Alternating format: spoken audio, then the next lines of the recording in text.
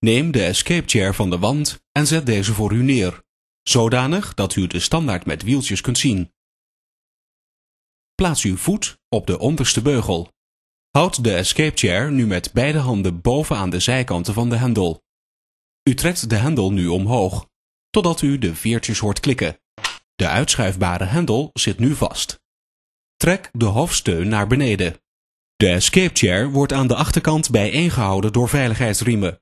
Deze veiligheidsriemen maakt u los door op de zijkanten van de gesp te drukken. Vervolgens trekt u een van de glijriemhouders naar u toe. Hierdoor zal de zitting uitklappen. Laat de evacuee instappen. Trek de stoel naar u toe tot aan het balanspunt. Nu pas haalt u uw voet van de onderste beugel af. Plaats uw voet op de standaard, net boven de kleine wieltjes, en trek deze standaard naar achteren. Dit gaat gedeeltelijk automatisch door middel van de gasveer. De escape chair is nu helemaal uitgeklapt en klaar voor horizontaal transport. Maak de veiligheidsriem vast. Voor het comfortmodel klapt u de armleuningen naar beneden en de voetensteun uit. Houd de escape chair vast met uw handen aan de zijkant van de hendel en loop vervolgens naar het noodtrappenhuis. Bij het noodtrappenhuis, nog voordat u bij de trap aankomt, klapt u de standaard met wieltjes naar binnen met uw voet. Breng de stoel in balans en rij op de grote wielen tot op de eerste trede van de trap. Met de handen nog aan de zijkant van de uitschuifbare hendel zet u de evacuatiestoel op de trap. Als de glijriemen de eerste treden raken, voelt u hoe de evacuatiestoel afremt. Zodra de stoel op twee treden rust, verplaatst u uw handen van de zijkanten naar de bovenkant van de hendel. Vervolgens glijdt u verder, in dezelfde hoek als de trap.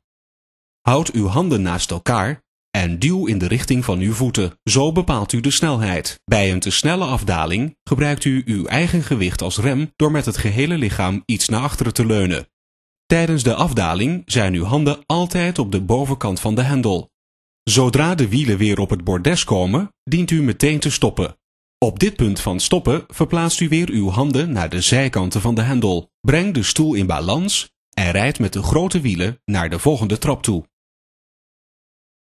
Bij zeer steile trappen adviseren wij u om met twee hulpverleners te werken.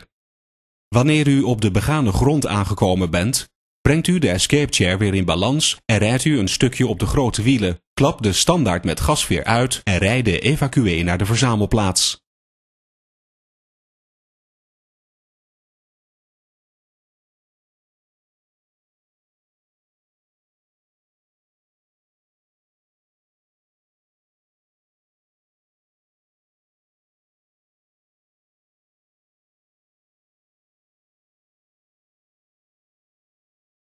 Nadat u de persoon uit de escape chair heeft geholpen, klapt u de standaard met wieltjes weer in door middel van het plaatsen van uw voet op de hiervoor bestemde pedaal. Doe dit niet met de hand. Zet uw voet op de onderste beugel. U kunt nu de escape chair laten rusten tegen uw knie.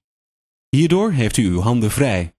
Breng nu met beide handen de hoofdsteun naar beneden. Duw de veren van de hendel gelijktijdig naar binnen. De beugel zakt nu vanzelf naar beneden. Plaats de veiligheidsriem aan beide kanten tussen de zitting en het frame naar achteren. Neem de uiteinden van deze riemen en trek deze naar u toe. De riemen brengt u vervolgens naar de achterkant van de escape chair en maakt deze hier vast. Sluit hierbij ook de glijriemhouders in.